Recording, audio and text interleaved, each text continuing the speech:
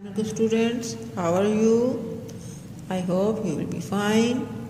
Today we are going to start our lecture number 3 of science. Take out page number 192.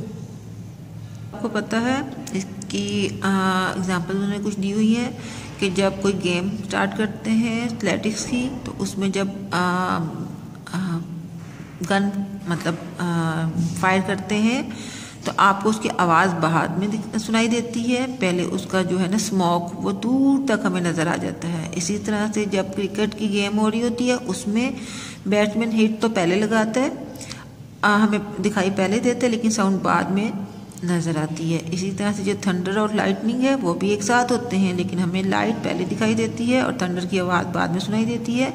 इससे हमें ये पता चलता है कि जो हमारी स्पीड ऑफ़ साउंड है वो स्पीड ऑफ़ लाइट से बहुत कम है। इसका ये है कि जो स्पीड ऑफ़ साउंड है डेट इज़ ओनली 330 मीटर पर second where as the speed of light जो है that is almost three lakhs kilometres पर सेकेंड मीन्स एक्यूरेट उन्होंने वैल्यू भी आपको बताई हुई है। इसका मतलब यह है कि the light is seen almost at the same instant it is produce but the sound is heard much after as shown in the above example से आपको पता चल गया कि speed of light is much greater than that of speed of sound अब उन्होंने कुछ mediums में आपको यहाँ पे एग्जांपल्स देके बताया हुआ जब आप इनको देखेंगे तो आपको पता चलेगा कि स्पीड ऑफ़ जो साउंड है वो डिफरेंट मटेरियल्स में डिफरेंट है। और जो मैक्सिमम है वो आप देख रहे हैं सॉलिड मीन स्टील के अंदर 5000 टू 7000 है। Maximum speed of sound is in solid than in liquid and in least है इन द एयर देन हमारे पास नेक्स्ट टॉपिक है reflection of sound reflection of sound light भी बिल्कुल उसी तरह से सॉरी साउंड भी उसी तरह से रिफ्लेक्ट करती है, जैसे कि साउंड रिफ्लेक्ट लाइट रिफ्लेक्ट करती है आपने। आप ये पहले पढ़ चुके हैं कि लाइट की रिफ्लेक्शन कैसी होती है? जब लाइट किसी प्लेन पॉलिश मिरर पर आती है स्ट्राइक करती है तो उससे रिफ्लेक्ट हो जाती है। इसी तरह से साउंड भी जब किसी हार्ड सरफेस पे लाइक वुड ब्रिक और वॉल वगैरह पे जब हिट करती है तो इट बाउंसेस बैक और इसको हम कहते हैं रिफ्लेक्शन ऑफ़ साउंड इसके लिए उन्होंने आपको एक एक्टिविटी बताई हुई है कि वो कह रहे हैं कि आप एक टिकिंग क्लॉक लीजिए, उसको एक ग्लास कंटेनर के अंदर रख दीजिए, उसको बंद कर दीजिए। अब उसके बाद आप उसके अंदर लीड को ना आहिस्ता आहिस्ता खोलें और वहाँ तक खोलते जाएँ जहाँ पे आपको उसकी आवाज़ सुनाई दे। ये कैसे होगा? ये साउंड आपकी आती है, यहाँ से आ रही है, इसको हिट कर रही है और यहाँ से रिफ्लेक्ट करके आपके कान में जा रही है। ये भी, ये आपको फिनोमिना बता रहा है, ये एक्टिविटी बता रही है कि साउंड भी रिफ्लेक्ट होती है। अब जो रिफ्लेक्शन ऑफ़ साउंड है, वो वेरी करता है इन डिफरेंट मटेरियल्स में, जैसे कि उसकी स्पीड डिफरेंट करती वेरी करती है, इसी तरह से उसकी जो रिफ्लेक्शन है, वो भी डिफरेंट है, वो कहते हैं जो साउंड वेव्स है मेटेलिक शीट्स जो है दे आर गुड रिफ्लेक्टर्स जो मेटेलिक शीट्स हैं उसके अंदर से उसकी रिफ्लेक्शन बहुत ज़्यादा है, लेकिन कुछ ऐसी मटेरियल्स हैं for example cloth cork porous material porous mean सुराखदार जो होते हैं मटीरियल्स एंड थर्मोकोल स्ट्रेक्ट्रा जो है they are bad reflector bad reflectors वो होते हैं जिससे बिल्कुल भी साउंड की रिफ्लेक्शन नहीं होती है. साउंड वेव जो होते हैं they are absorb in those materials इसीलिए वो कहते हैं इसका ना जो आ, सिनेमा वगैरह में इसका वो यूज़ करते हैं फोम वगैरह से प्लास्टिक उसकी वो कर देते हैं मटेरियल से ताकि जो आवाज़ जो है वो एब्जॉर्ब हो जाए।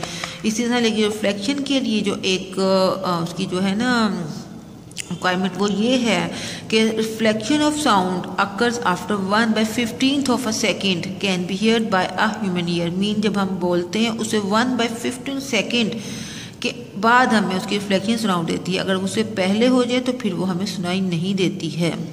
इसी तरह जिस उसकी प्रैक्टिकल एप्लीकेशन है रिफ्लेक्शन की वो बहुत ज़्यादा है। इस तरह से कि जब ये जो आ, सी में जाते हैं शिप्स जो होती हैं जब वो जाती हैं तो उनका वहाँ पे जो उनको ना डिस्टेंस देखते हैं वो मैयर करने में किसकी सी का जो डेप्थ है वो फाइंड करने के लिए उनके पास एक ऑपरेटर्स होता है जिसको कहते हैं सोनर इससे क्या होता है वो ना अल्ट्रासोनिक साउंड जो होते हैं वो सी के अंदर भेजते हैं। वो जा के नीचे जिसको कहते हैं स्ट्राइक करती हैं उसकी बैट से सी बैट से और रिफ्लेक्ट करके वापस आती हैं और वो जो रिसीवर होता है वो उसको रिसीव कर लेता है। ये देखें ट्रांसमीटर से इंसिडेंट साउंड जा रही है जहाँ पे जितनी उसकी जो मैक्सिमम डेप्थ है वहाँ जाके सी बेड में जाके वो स्ट्राइक करती है और रिफ्लेक्ट होकर वो वापस आती है। रिफ्लेक्टिव साउंड जो होती है रिसीवर में रिसीव कर लेते हैं। इससे क्या होता है उसका ये होता है कि वो आ, जो होती है ना डेप्थ ऑफ़ सी या ओशन जो होता है, वो हम फाइंड कर लेते हैं। कैसे? हमें एक टाइम देखते हैं कितनी देर में वो वापस आई है और फॉर्मूला अप्लाई करता है डेप्थ ऑफ़ द सी कैसे फाइंड करते हैं? See of sound speed of sound in water वो हमें मालूम है। देन उसको हम मल्टीप्लाई करते time taken by the sound to return back कितनी देर में वो गई और फिर वापस आई। उस टाइम को हम उसके साथ मल्टीप्लाई करते हैं तो हमें डेप्थ ऑफ़ सी का पता चल जाता है। ये उसकी प्रैक्टिकल एप्लीकेशन हो जाती है। राइट अब स्टूडेंट यही जो रिफ्लेक्टेड साउंड है, इसको हम इको भी कहते हैं। उसके लिए ये होता है, वो आपको बता रहे हैं कि इको कैसे प्रोड्यूस होती है। इको क्या होती है? जिसको कहते हैं ना गुमक मीन जो आवाज़ आपको दोबारा से स्ट्राइक करती है और आके वापस जो आप अपने कानों में सुनते अपनी आवाज़ आपकी जब जाके बॉल को स्ट्राइक करे और फिर आप उसको सुने, अपनी आवाज़ की गूंज को तो उसको हम कहते हैं इको इसके लिए क्या चीज़ ज़रूरी है? वो कहते हैं echo is usually produced by any large surface such as cliff high walls mountains tunnels, etcetera लेकिन it can be heard clearly if it reaches the listener at least one by fifteen of the second after the original sound mean आपकी जो sound produce हुई है उसके मतलब mean बात करने के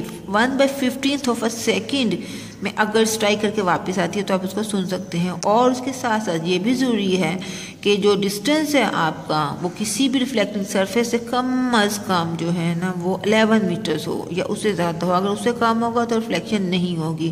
तो रिफ्लेक्टेड साउंड को हम इको भी कहते हैं। अब नेक्स्ट आपका टॉपिक है अल्ट्रासोनिक्स एंड इंफ्रासोनिक्स अल्ट्रासोनिक्स आप नाम देख रहे हैं अल्ट्रा होता है अबाव हाई राइट वो साउंड जो आपके सुनने की सलाहियत से ऊपर की हो, उनको अल्ट्रासोनिक्स कहते हैं, और जो आप सुनने की सलाहियत से कम इंफ्रा अल्ट्रा होता है हाई इंफ्रा होता है low ultrasonics high high frequency sounds and low frequency sounds अब वो जो साउंड जो कहते हैं ना फॉर एग्जांपल वो कह रहे हैं कि जो सिंपल पेंडोनिक पेंडोलम की जो ऑसिलेशन है टू एंड फ्रो की, वो हमें सुनाई नहीं देती। वो क्यों है? इसलिए कि वो इंफ्रासोनिक्स हैं। और उसकी जो साउंड प्रोड्यूसर है उसकी फ्रिक्वेंसी जो वाइब्रेशन है इस less than twenty per twenty per second है राइट और इसी तरह से जो है जो sound the frequency is the governing factor in the production of sound means vibration of frequencies above a certain limit are not able to produce hearable sounds. Means जो कुछ frequencies हैं जिनसे high हो जाए या उनसे low हो जाए तो वो हम सुन नहीं सकते। अब क्या है? हम लोग जो frequency सुन सकते हैं ह्यूमन ईयर्स जो सुन सकता है, उसकी रेंज जो है ट्वेंटी पर सेकेंड से कम नहीं होनी चाहिए और twenty thousand twenty to twenty thousand hertz से कम या ज़्यादा नहीं होनी चाहिए। जो ट्वेंटी हर्ट से कम होगी, वो नहीं सुन सकते, ट्वेंटी थाउज़ेंड हर्ट से ज़्यादा होगी तो वो नहीं सुन सकते। बिलो ट्वेंटी ट्वेंटी हर्ट्स जो है, उसको हम कह देते हैं इंफ्रासोनिक्स और अबाउट ट्वेंटी थाउज़ेंड को हम कह देते हैं, अल्ट्रासोनिक्स, राइट? अब ये जो फ्रीक्वेंसीज हैं, जो between twenty to twenty thousand hertz हैं, इसको हम कहते हैं audible frequencies, right?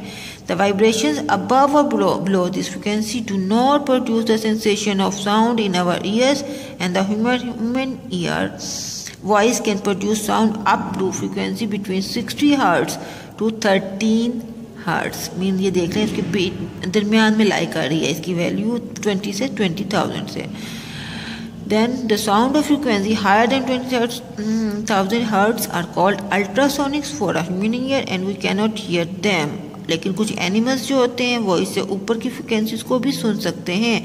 ये उन्होंने आगे आपको एग्ज़ाम्पल सी हुई आप चेक कर लीजिए। देन आप ये देख रहे हैं कि sound of frequencies less than twenty hertz जो हैं दे आर कॉल्ड इंफ्रासोनिक्स और इनको हम जो है, इनको भी नहीं सुन सकते हैं। अब इसका जो बेनिफिट है, वो क्या है? यूजेस क्या होते हैं? वो कहते हैं ultrasonic frequencies find Many uses these days, for example, speed data exposed to ultrasonic frequency have been found to germinate quickly. Mean uh, जो सीड्स जो होते हैं उनको हम अल्ट्रासोनिक्स में अल्ट्रासोनिक साउंड के उनके कुछ यूजेस भी उन्होंने आपको बताए हुए हैं कि जो अल्ट्रासोनिक फ्रिक्वेंसीज हैं वो सीड्स की जर्मिनेशन में और मिल्क की प्रिजर्वेशन में, इसी तरह मेल्ट मेटल कास्टिंग में कोई डिफेक्ट्स हो, उसके लिए और वेल्डिंग मेटल्स के लिए और सी वगैरह की डेप फाइंड करने में हेल्प करते हैं। इसी तरह उन्होंने नेक्स्ट आपको बताया केयर ऑफ़ ईयर्स ईयर्स चूँकि आपको पता है ओनली ऑर्गन है टू ईयर कहते हैं, उनकी बहुत केयर करनी चाहिए, उनकी सफ़ाई के लिए कभी भी कोई मैच स्टिक वगैरह यूज़ नहीं करनी चाहिए, कभी किसी कान पे, किसी के कान पे हाथ से नहीं ज़ोर से मारना चाहिए, ना ही हमें चाहिए कि हम ज़्यादा ऊँची आवाज़ से बात करें, ना इसी तरह से उन्हें कुछ आपको पॉइंट्स बताए हुए कि जिसकी वजह से आप अपने कानों की केयर कर सकते हैं। अदरवाइज़ क्या होता है? नॉइज़ जो होता है मीन अनवांटेड और अनप्लेजेंट साउंड जो होते हैं दे आर कॉल्ड नॉइज़ इससे क्या होता है? इससे आपके कानों की प्रॉब्लम क्रिएट हो जाती हैं, बहुत सारी आपको ना डिज़ीज़ हो जाती हैं ब्लड प्रेशर वगैरह की हार्ट अटैक की, इस तरह की आपको आपको बता रहे हैं। और noise is generally measured in decibels और a sound of about one thirty decibels can cause a pain of in your ear students आगे आपको बताएँ कि how noise is a health hazard कैसे कि इसके अगर आपको ज़्यादा देर नॉइस को आप कान, आपका नॉइस में रहेगा तो उससे क्या होगा? एयर ड्रम जो होता है, वो भी रप्चर हो सकता है और परमानेंट डेफनेस हो सकती है। देन जो हाई पिच नॉइस अगर आप सुन लेते हैं तो उससे टेंशन होती है ब्लड प्रेशर भी हो जाता है हार्ट अटैक हो सकता है। इसी तरह स्टूडेंट्स की स्टडीज़ इफ़ेक्ट होती हैं, इससे हेडक भी हो सकती है। अब उसके लिए कौन सी स्ट्रेटजीज उनको यूज़ करनी चाहिए to avoid the noise pollution इसको पोल्यूशन कहते हैं नॉइस पोल्यूशन शोर की आलूदगी जिसको कहते हैं, उसके लिए है कि हुकूमत को स्पीकर्स के बेजा यूज़ पे पाबंदी लगानी चाहिए। इसी तरह बस ड्राइवर्स जो हैं, उनको ईयर प्लग्स देने चाहिए ताकि उनके कानों में शोर नहीं जाओ। इसी तरह ऑटोमोबाइल्स ड्राइवर जो हैं, उनको भी एडवाइस करना चाहिए कि वो हॉर्न को आहिस्ता से यूज़ की करें। ऑटोमोबाइल्स जो हैं, उनके अंदर कुछ ऐसे एफिशिएंट साइलेंसर्स लगा देने चाहिए जिससे शोर प्रोड्यूस ना हो। इसी तरह ट्रीज़ को प्लांट करने से भी रोड साइड पे जो होता है ना शोर के में कम हो जाती, कमी आ जाती है। इसके अलावा आप घरों में भी कर्टन मोटे मोटे कर्टन लगा के शोर को पोल्यूशन को बचा सकते हैं। लेट स्टूडेंट्स अब हम अपने देखते हैं कि इसके अंदर हमारे कौन कौन से क्वेश्चन कवर हो रहे हैं। एक तो आपको यहीं पे है नॉइस का क्वेश्चन आपका है। Question number eleven what is noise and what देखिए, यहाँ पे डेफिनेशन है पेज 195 पे आ जाए। Unwanted and unpleasant sound are called noise ये आपको इसकी डेफिनेशन है व्हाट इज़ नॉइस ये क्वेश्चन नंबर अलेवन को मैं आपको मार्क करवा रही हूँ। और उसके साथ उन्होंने आपको कहा हुआ है कि gave name to harmful effects of noise and mention four measures to control noise इसके लिए देखिए पेज 196 पे टू, आप उसका पॉइंट कोई से भी ले सकते हैं। अगर ये, लेकिन मैंने यहाँ पे फ़र्स्ट टू को मार्क किया हुआ है। फ़र्स्ट टू मार्क्स जो है noise is a health hazards उसके जो हार्मफुल इफेक्ट्स हैं नंबर वन और नंबर टू यहाँ से यहाँ तक टू पॉइंट्स यहाँ से ले लीजिए। और उसके बाद उसको कैसे सोल्व करना चाहिए, उसके लिए यहाँ पे जो नॉइस पोल्यूशन की कंट्रोल स्ट्रेटजीज हैं, उसमें जो लास्ट फोर हैं, इसको मैंने मार्क किया हुआ है। ये आपने फोर ये नोट डाउन करने ये आपका क्वेश्चन नंबर अलेवन का आंसर है। इसके बाद हम बाकी देखते हैं, हमारे कौन से क्वेश्चन हैं? ये स्टूडेंट्स ये क्वेश्चन नंबर फोर का आंसर देखिए, यहाँ पे है। पेज नंबर 194 यहाँ से स्टार्ट हो रहा है। Human beings can hear sounds in the frequency range of यहाँ से स्टार्ट होकर यहाँ पे ऑडिबल फ्रिक्वेंसीज ये डेफिनेशन पूछी थी से क्वेश्चन नंबर फाइव इसी पैराग्राफ की last line the human voice can hear can produce sound up to frequency between 60 to 13 hertz ये क्वेश्चन नंबर फाइव है. देन क्वेश्चन नंबर सिक्स का आंसर देखिए. यहाँ से उसका पार्ट वन है sound of frequency higher than twenty hertz और called ultrasonics यहाँ से लेके cannot hear we cannot hear them यहाँ तक पार्ट वन है अल्ट्रासोनिक्स देन इंट्रासोनिक्स के लिए इस पेज पे आ जाइए पेज नंबर 195 उसकी first line sound of frequency less than 20 hertz is known as infrasonics for a human ear ये आपका क्वेश्चन नंबर फोर फाइव और सिक्स का हो गया देन आपके पास, उनके पास क्वेश्चन नंबर है जी नाइन नाइन का आंसर है? द साउंड यहीं पे पेज वन नाइन्टी फोर पे आ जाइए। The sound heard after reflection from a surface is called echo यहाँ से आपने ऊपर से, यहाँ से स्टार्ट लेना है और इसको आपने यहाँ पे पैराग्राफ जो कंप्लीट हो रहा है if we are at a distance of 11 meters or more from the reflecting surface, यहाँ पे इसका क्वेश्चन नंबर नाइन कंप्लीट हो रहा है। अब आपका इसी पेज के ऊपर 194 195 पे question number four five six और नाइन आपको मिल गए हैं।